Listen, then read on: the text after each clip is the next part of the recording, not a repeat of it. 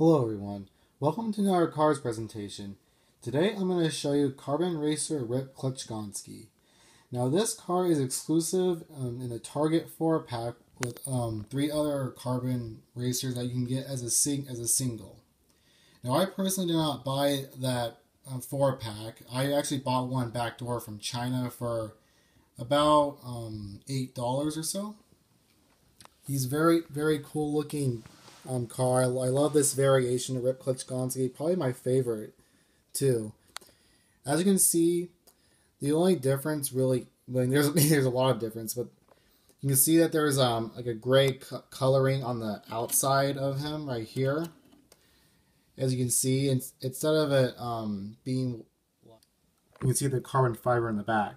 I also really like the fact that there's orange wheels on this side and there's green green wheels on this side.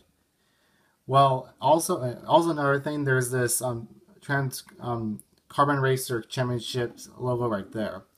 Well, that's all for this video, and I hope you liked it, and thank you for watching.